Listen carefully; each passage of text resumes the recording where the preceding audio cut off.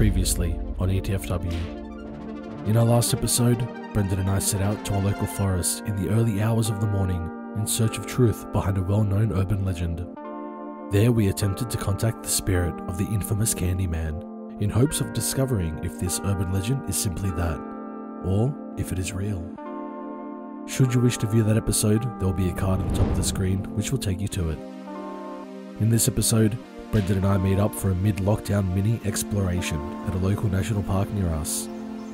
Whilst there, we make our way to a destination called Tabbigai Gap and begin our search for the remnants of the infamous Kurnell Cliff Dwellers. This is ETFW. Follow us as we explore the Kurnell Cliff Dwellers.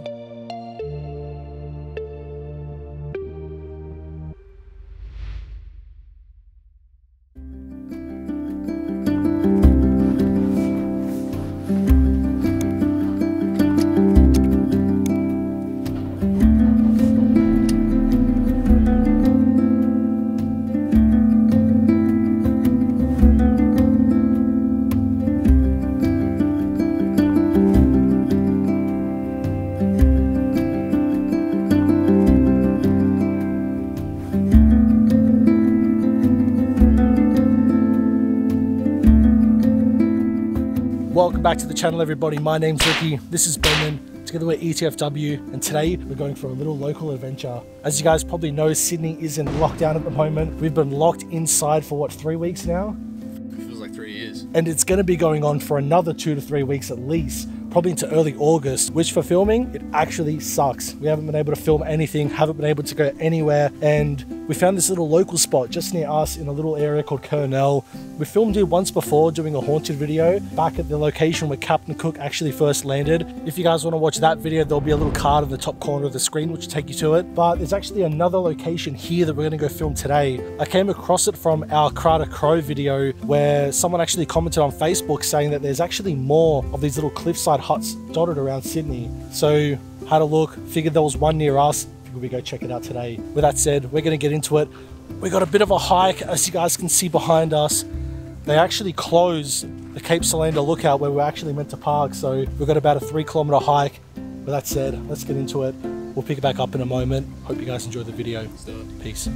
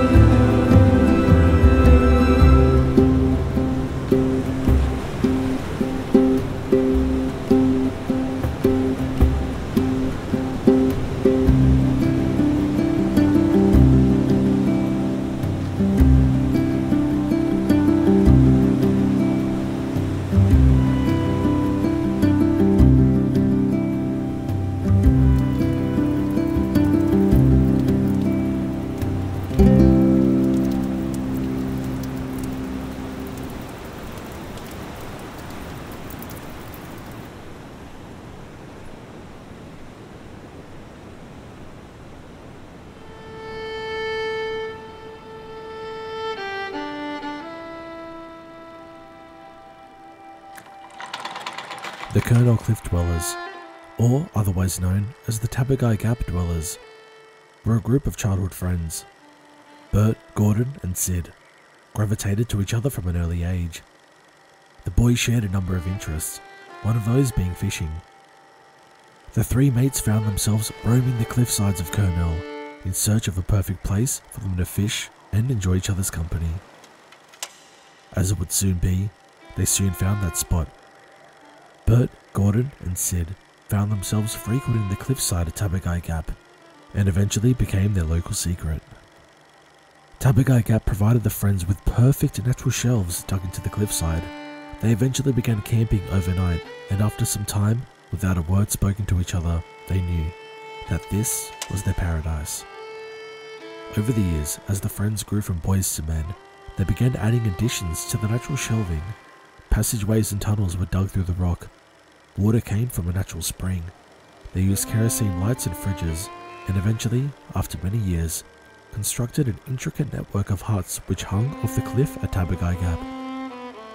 Bert, Gordon, and Sid, however, were not the only lucky ones in Sydney to have shared the same thoughts. Throughout the 1920s, many took to secluded locations in search of refuge and to escape the troubles and hardships the Great Depression brought on. Small villages such as Tabbigai Gap could be found all along various coastlines throughout Sydney. However, the construction of these villages was against the law, and ultimately, the government made an effort to evict and demolish many of the villages over the years. Bert, Gordon, and Sid, however, were one of the lucky ones. The three friends had approached the council in hopes of permission to build and permanently occupied their man-made huts at Tabbigai Gap. With what I'm sure was a convincing speech, the three mates were given permission, but at a cost. They were to agree and pay council rates, which they did without hesitation. All was well for Bert, Gordon, and Sid. They lived in peace at Tabbigai Gap all the way up to the 1960s. They introduced many more additions over the years to their huts, adding bridges, painting the cliff walls, and even erecting a guest house for friends of theirs to stay. However, their peace and quiet was coming to an end. Eventually, in 1961, the Lands Department reviewed the permissive occupancy agreements and ordered the cliff dwellers and permanent reserve campers to leave.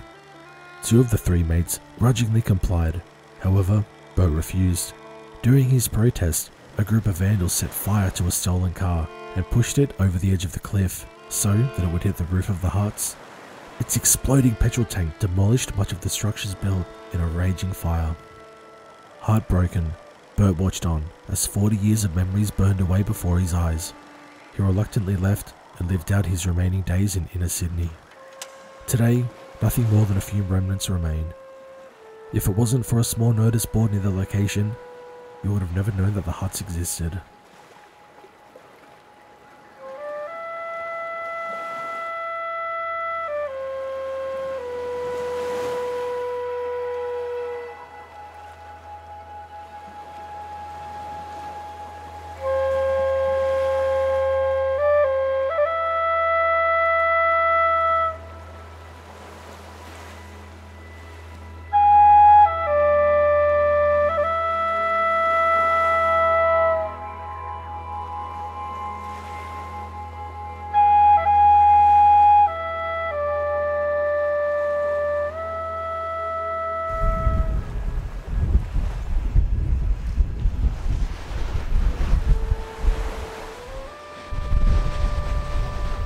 A spot, guys.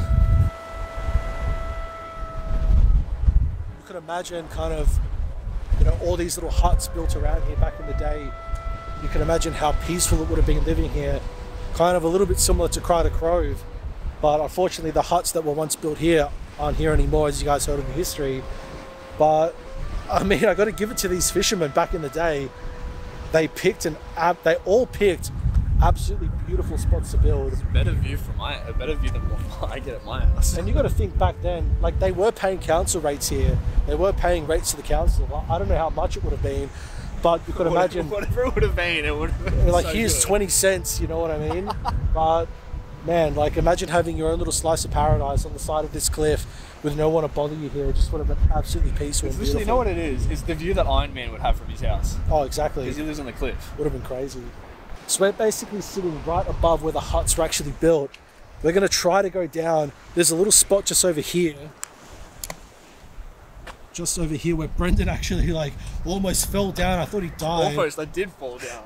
Granted, granted, there's only half a meter, thank God, but I my knee. Yeah, I actually thought Brendan dropped and died. Like I was literally setting up the camera. I heard this like, and then I looked and Brendan just goes, just dipped off. But we're gonna pretty much climb down. We're gonna make our way under, climb down, make our way under, over to where they have the little cliffs built just over here. And we'll take you guys along for the ride. Alrighty, let's climb down. Let's do it. Let's do it. So the weather took a bit of a turn since we last updated you guys. You can See, you can actually see the rain that is torrential. Yeah. Option A, we go into the cliff huts, we wait out the storm, make a fire, we huddle naked, we keep warm. Option two, we make the two and a half kilometer hike back to the car. Hopefully, we make it before the rain hits us and we survive in the air conditioned, blissful Ranger. We're not gonna make it back to the car. We won't make it back into the car. I, I say we huddle. I reckon I- I option take- A. I take the naked option. All right, guys, we're going to go huddle naked. We'll pick it back up in a moment. You see it?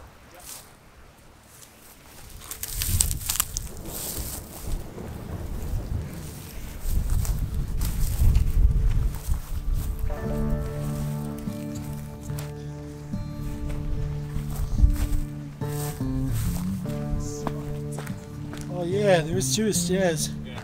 No, here, here, there's proper stairs. Like that's like wind stairs. These are actual carved stairs. Check it out. Oh, that's sick. Dude, that's so.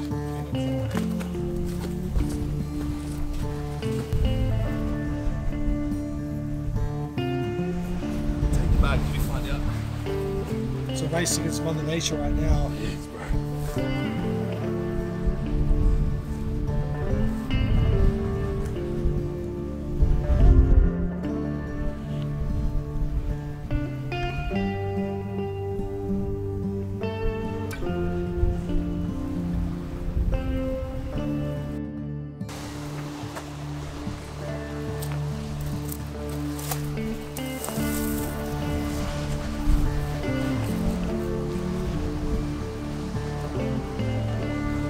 Pass this camera. Oh, that's actually crazy to get down.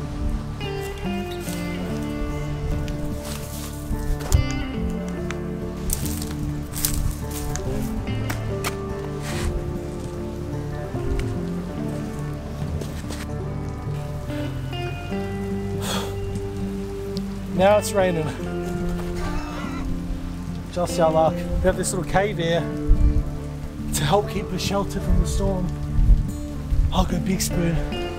Alright, survival time. Let's get the shit. You go little spoon. Know, we got it, we got it. Okay, this is survival 101. This is ETFW survival 101. When you're caught in a situation like this, it's important. All right, food, water, Yeah. warmth. Warmth first. Let's get our clothes off. It's the We, only we can way. burn the clothes as well That's right, for extra warmth. but not our beards. This is as real as it gets, guys. We'll pick it back up in a bit.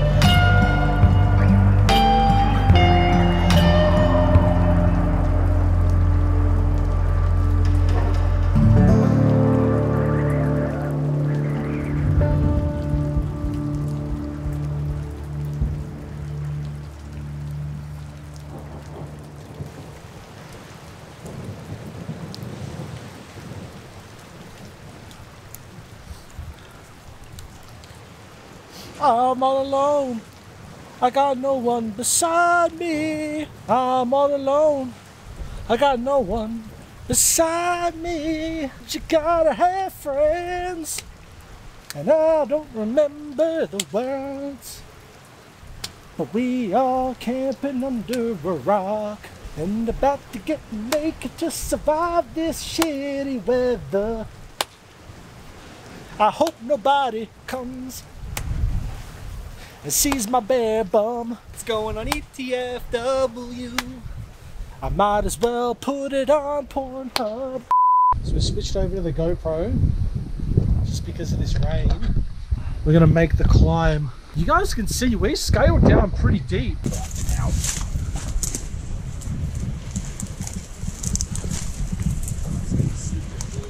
Yeah, it's gotta be careful.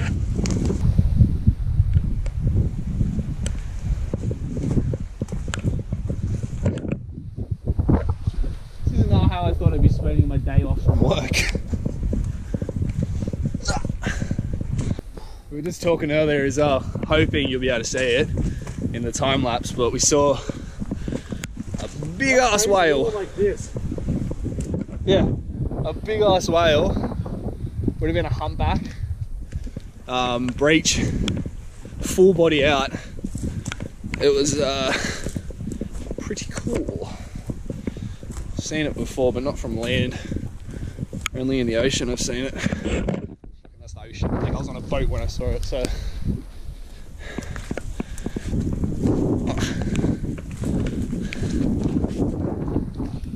Only in Australia will you get all four of the seasons in one day. That's true.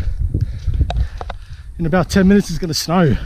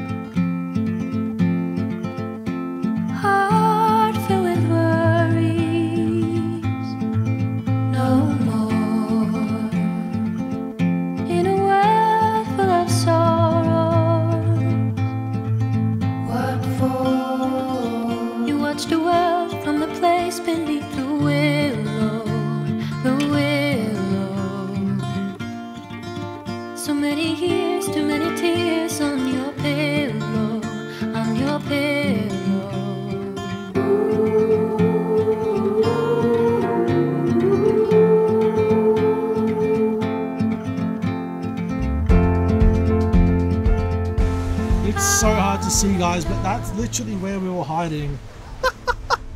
so that's to show you how quick, how quick we scrambled. We that's the walking track. Yeah, no, but we were all the way over there. But that yeah, that's where we originally were today. We got to about here. It started raining. We scrambled all the way down this, through all that scrub into that cave. Yeah. Because we were aiming to get there, but you can't get there. There's this cliff It's- face. From up here, like it, that was actually a bit of a climb. Dude, we would have looked like the biggest idiot. If someone came past, they would just feel like, what this guy's doing? So good though. Oh, it was heaps good. So good. We kept dry, didn't get wet.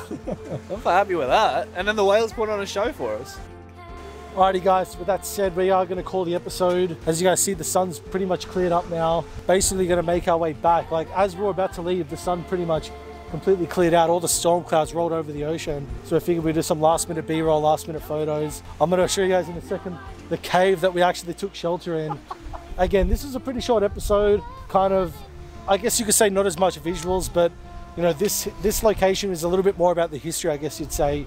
You know, even though all the huts are gone, it's you know a little bit sort of showing you what was here and i guess you could even say like uh, you know nature kind of reclaims everything in a way we can mold it build it shape it do whatever we want to it but at the end of the day when we're gone everything kind of turns back to nature Yeah, that and show off our backyard too as well. This is literally in our area. yeah Like, it's like 10 fun. minutes from our place Yeah, it's so pretty cool. crazy anyways guys i'm going to show you the cliff quickly if you did like this video again be sure to go down drop it a like drop it a comment and if you are new here hit the big red button that looks like this join the channel join etfw Hopefully we can get another video up before I go up to Brisbane. If not, I'll be seeing all you guys in a couple of weeks once I get settled in up in Brisbane, once I get kind of, you know, my feet on the ground up there and get some locations under my belt. Anyways, with that said, hope you guys enjoyed the video. I'll catch you in the next one. Peace.